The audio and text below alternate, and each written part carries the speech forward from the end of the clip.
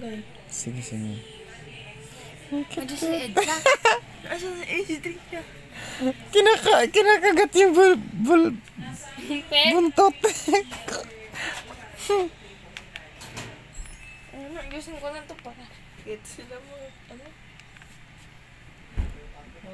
Oo. Tik tik. Ay, ay, ay. Siyempre, wala. Asan? Ako nga. Ako na, oh, ito ba? Na nag-aaway.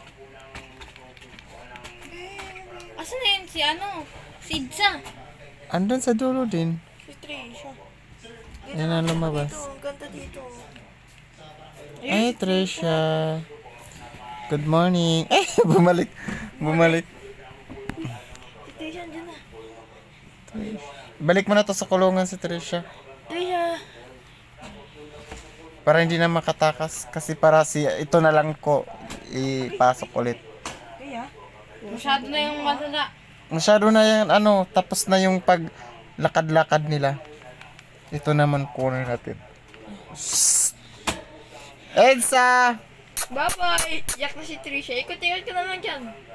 Oo nga, ano yung gusto mo nga eh. Masasaya nga yun eh.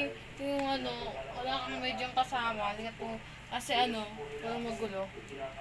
Parang ko pa na nalili yan mo.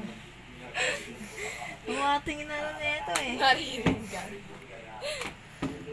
Ang kulit itong dalawa oh. Yung, yung mata ni Edsa, parang ano, libat. Yan mo. Oh, yan oh, yan.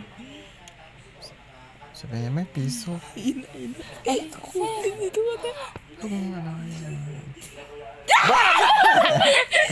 Ipasok mo na yan, pasok mo na. Kanina pa yan naglalakas. Pupasok, pasok yan. Ito na si Trish, ay si Jolly. Ayan.